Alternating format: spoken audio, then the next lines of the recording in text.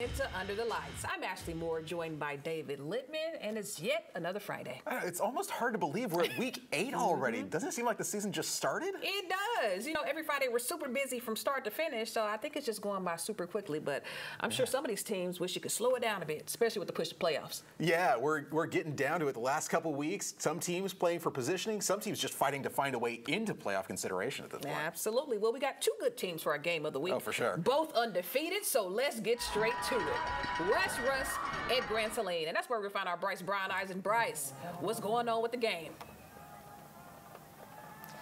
Ashley, David, it's been a chippy game all night here at Indian Memorial Stadium.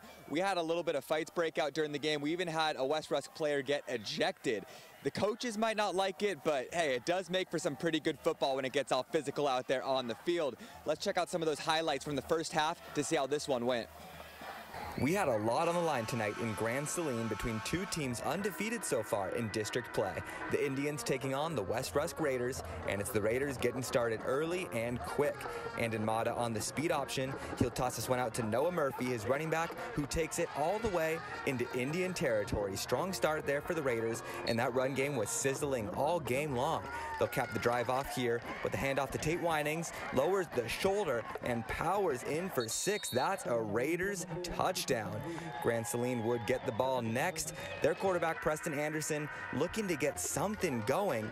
He's going to go ahead and toss this one out into the flat, and his receiver is going to find some space for a pretty nice gain, but unfortunately they won't be able to get much more momentum than that as West Rusk will take this one back over into the second quarter. Let Andon cook. He wants his receiver deep. He gets his receiver deep. That's Jeremiah Smith, makes the defense look silly on that juke move, and he's going to cruise in for another touchdown on the way to some West Rusk domination.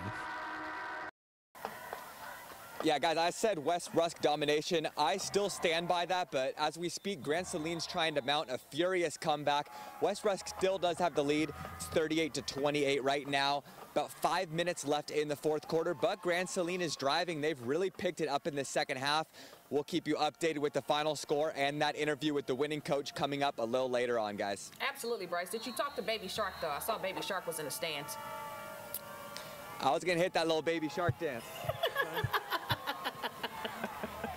okay, Bryce, and thank you. I know you got a game to get to, so I'll let you do it.